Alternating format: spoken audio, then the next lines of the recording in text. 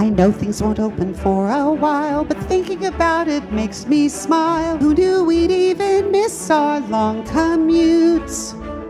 The lines at the airport will be fun, and someday I may get my hair done. Finally, I won't have to hide my roots. Seeing actual real life people without masks will be totally bizarre. Do I remember how to drive a car?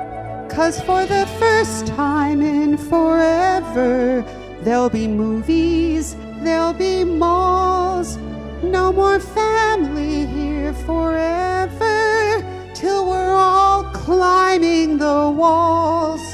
I know that the shutdown is vital, but it just helps me to say this won't really last forever. It just feels that way.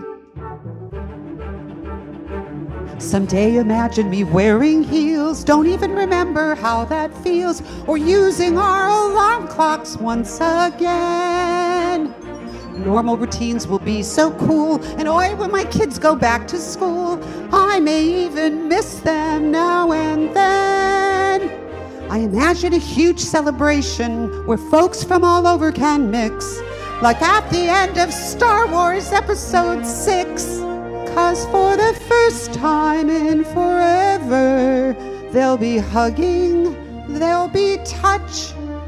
And I must admit, I never thought I'd miss the gym so much. I'm not saying open up prematurely, but when it's safe to take that chance for the first time in forever,